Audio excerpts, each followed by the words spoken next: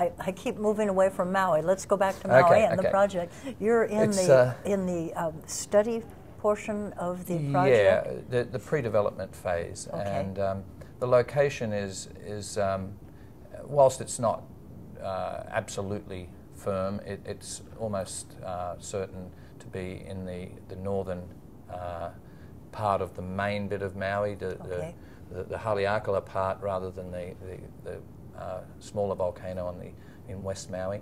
Uh, so directly to the, uh, uh, the sort of the most northern point or thereabouts.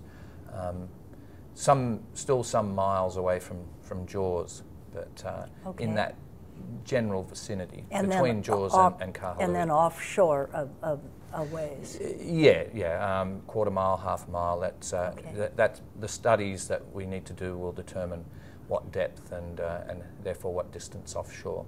Now, how long are those going to take you? And I guess what I'm saying is, I would like to go out to the um, event where a switch is flipped. Oh yeah, that, that will still be a little while yet because um, we have to do these pre-development activities, uh, geotechnical studies, bath- bath- bathymetric studies, Mm-hmm.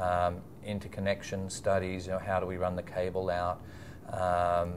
You know, the permitting process has to be followed, and we're, we're certainly not trying to short-circuit that. And we have to address That's good. everything that's uh, that needs to be addressed in that regard.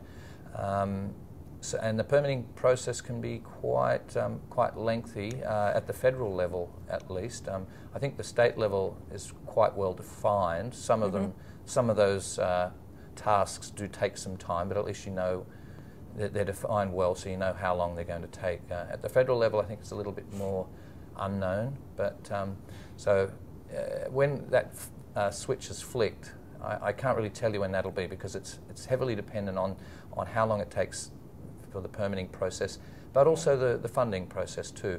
Um, you know, we really need to put to get the, the funding in the bag before uh, full-on construction starts because it, it would be um, a little uh, sort of remiss of us, I think, a lot remiss of us to uh, to start constructing without knowing that the money's there. You know, because we don't want to get partway through uh, construction and find we run out of money. Well, so with the stimulus package and with the um, ARA, the American Recovery Something Act, um, Mm. there is money there, and President Obama has um, included ocean technology. yes, I, I noted that. which sir. is excellent.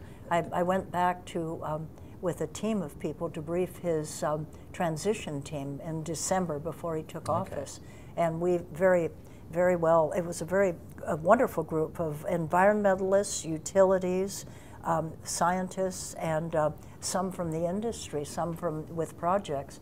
And we all pulled together, which um, made the transition team sit up and take notice because a lot of times utilities and environmentalists are at each other's throats. So they were very interested in it. We put together um, a principles document that now has been presented before a committee in Congress. And uh, I think things are going to move ahead to get the federal logjam broken. And because we, the last thing we want is the federal government to come out and cause a logjam within our state waters. Mm, yeah. And our state waters is where your, your uh, project will be located. Yeah, definitely, definitely within state waters, not federal waters. So- Right. But yeah, um, I, I do believe though that there's still a federal requirement for permitting, but um, hopefully that won't uh, be uh, won't cause a, a, a bottleneck of any sort with the with the project. Um, It shouldn't now. I mean, yeah, I think this yeah. is moving, and yeah, Congress the is well aware of it.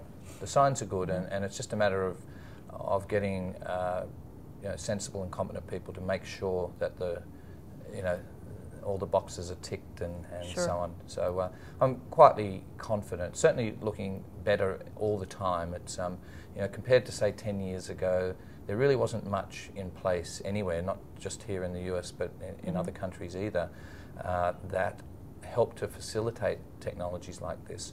I think everyone was quite comfortable with, with the status quo, with oil as Right. it was, and uh, um, you know now uh, not only is there, uh, as you, you're aware, problems with um, with supply and and, and um, Oh, definitely here. yeah, yeah. I and mean, it, you, you it's have, a security issue. yeah, secure. It- Absolutely yeah. for Hawaii. yeah.